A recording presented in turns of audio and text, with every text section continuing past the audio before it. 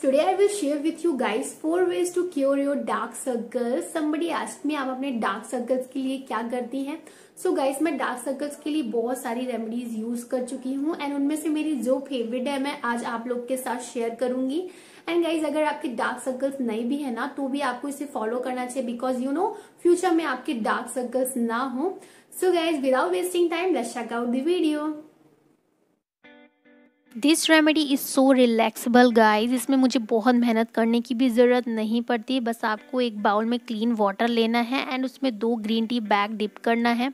जब green tea bag water absorb कर लेंगे तो ग्रीन टी बैग्स को निकाल कर अलग से बाउल में फ्रिज पर रख देना है 20 से 25 मिनट तक के लिए। सो ग्रीन टी बैग ठंडी हो चुके हैं। मैं इसे अपने आइस पर रखूँगी 15 से 20 मिनट तक के लिए। इससे आँखों के नीचे डार्क सर्कल्स तो ठीक होंगे, साथ ही आँखों के नीचे जो स्वेलिंग हो जाती है ना, वो भी ठीक हो जाएगी एंड आपकी आँखें जब बहुत ज़्यादा स्ट्रेसफुल लगती हैं तो ये उसे भी ठीक कर देगा। सो अंडर आई जेल बनाने के लिए हमें चाहिए होगा one teaspoon of rose water aloe vera gel one teaspoon of almond oil एक वाइटमिन ई की कैप्सूल इसे अच्छे से मिक्स करिए। हम इसे तब तक मिक्स करेंगे जब तक इसकी कंसिस्टेंसी थिक ना हो जाए। जब ये क्रीमी टेक्सचर का हो जाएगा, इसका मतलब हमारा अंडर आई जेल रेडी है।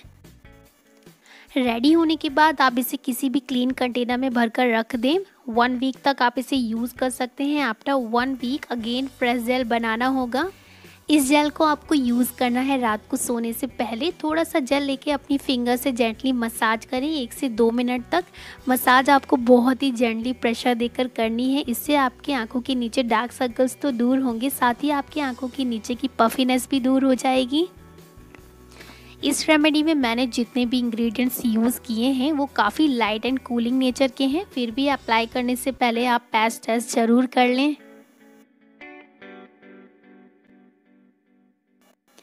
So D I Y eye patches बनाने के लिए हमें चाहिए होगा aloe vera gel two teaspoon of rose water two teaspoon of milk and one teaspoon of honey mix it well इसे अच्छे से मिक्स कर लीजिए। आई पैचेस बनाने के लिए आप कॉटन की क्लॉथ का भी यूज़ कर सकते हैं, या फिर आप कॉटन पैड लेकर उसे बीच से काट लें, एंड जो सीरम हमने रेडी किया था उसमें डिप कर लें। पाँच मिनट तक आप इसे ऐसे ही छोड़ दें, या फिर आप इसे फ्रीज़र पर भी रख सकते हैं। और cooling effect after five minute patches को आपको इस तरह आँखों के नीचे रखना है। आप इसे रख कर लेट जाएँ या सर ऊपर की तरफ़ कर लें, जिससे ये गिरे नहीं। इसे 15 से 20 मिनट तक ऐसे ही रहने दें। इसका पूरा बेनिफिट हमें ले लेना है एंड देन इसे निकाल दीजिए। पैचेस में बहुत सारा सीरम है, इसलिए मैं इसे लेकर अपनी आइज़ पर जेंटली मसाज करती हूँ।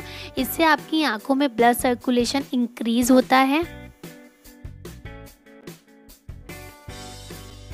आई मसाज हमारे डार्क सर्कल्स के लिए बहुत ज़्यादा ज़रूरी होता है। सो मैं किस तरह आई मसाज करती हूँ? मैं सबसे पहले ऑयल ले लेती हूँ एंड अपने फिंगर्स में लेकर उसे रब करके अपने आँखों पर डैब डैब करके लगाती हूँ, जिससे मेरी आँखों में थोड़ी गर्माहट मिले।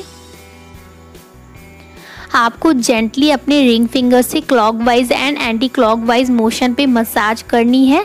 आपको जितने भी मसाज स्टेप मैं बताऊँगी, उसे आपको 10 टू 15 टाइम रिपीट करना है। आपको बहुत ज़्यादा काम एंड कम प्रेशर देकर मसाज करनी होगी। एंड गाइस आई मसाज आपके आई के लिए बहुत ही ज़्यादा ज़रूरी है। इसे आप डेली रात में सोने से पहले कर सकते हैं। इससे आपको विजुअल रिजल्ट्स मिलेंगे।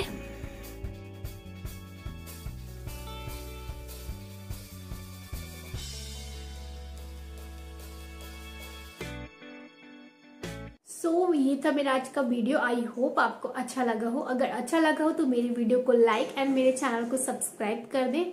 मैं आपसे मिलूँगी आने वाली नेक्स्ट वीडियो में. तब तक के लिए बाय बाय